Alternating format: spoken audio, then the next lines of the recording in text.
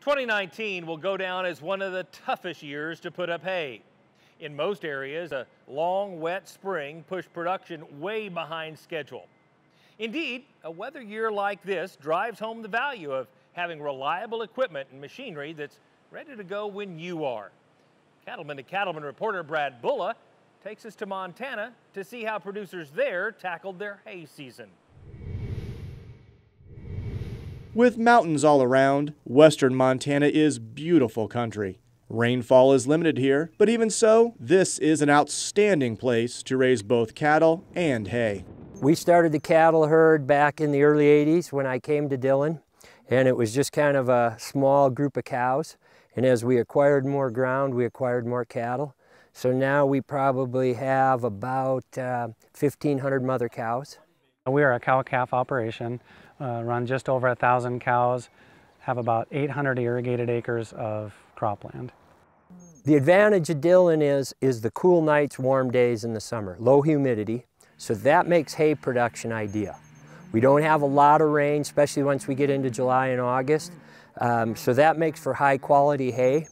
Like all those making hay, these Montana producers keep a close eye on the weather because for them, the window of opportunity to get hay cut, baled, and out of the field is especially short. With the winters that we've been having in Montana, we've gone from having farming windows of you know three to four weeks down to just days.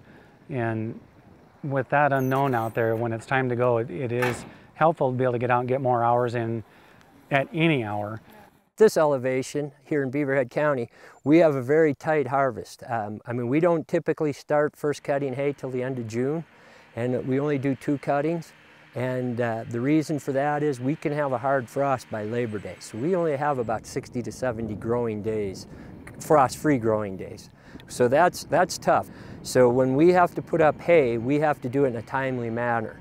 David Schuett is a part owner of Frontline Ag Solutions a John Deere dealer with 10 locations across Montana. For David, and for cattle and hay producers in the area like him, the service and parts availability from John Deere is a critical advantage. Invariably, you'll have a breakdown. Uh, I don't care how new your equipment is, um, it happens. The, but the beauty of Deere is, if we don't have it at the dealership, it'll be here at 10 o'clock in the morning. And I mean, we're pretty isolated here. You know, we're, we're 150 miles to a major airport. So Deere's dealer network is unrivaled as far as parts go. Sometimes I think that the cost of ownership is where we need to look, that a lot of times you can't afford to have the breakdowns, the downtime that you do with other equipment. Um, and so that is really important to us is, is when it's time to go that we are able to go. And that's really what we look at. These producers believe another way John Deere delivers is by continuing to innovate offering a variety of features and new technology on every piece of machinery in the hayfield. Our farming tractor has AutoTrac, which allows us to run more hours of the day, get done quicker.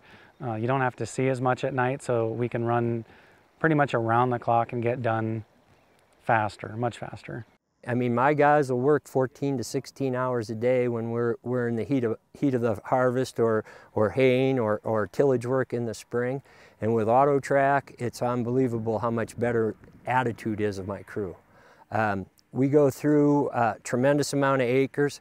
We farm probably, in the spring, we farm probably about seven to 8,000 acres, and then we hay almost 20,000 acres, not only our own, but for other people. So those guys put in a lot of time and a lot of, lot of sleepless nights and the, the John Deere innovation really eases their workload. I also see our producers who, you know, they get tired in the day and they, they can't go out and put an eight hour day in, in a swather. All of a sudden you show them how the AutoTrac works in it. They're putting 12 hours a day in. They're getting 120 acres done a day. I mean, it just, everything's simpler. They're getting their, their hay knocked down faster. They're avoiding the storm. They're getting it into the bell faster. Um, the other thing that's been a big boost for the John Deere balers the last two years is they've come out with the accumulator so that we don't have to stop and uh, we don't have to stop to unload. We can wrap the bales, put them on the, on the accumulator, and then we can drop them in the field. Well, some people think, what was that such a big deal? But if you're putting up 30,000 round bales and you can pick them up with your stackers in a line, that's huge. Those stackers aren't wasting near as much time. So that's probably been one of the biggest innovations of recent time. you're easier on your equipment, you're being more productive, you're being more fuel efficient, you're getting the max amount of work done in a day, and, and it pays for itself at the end of the day.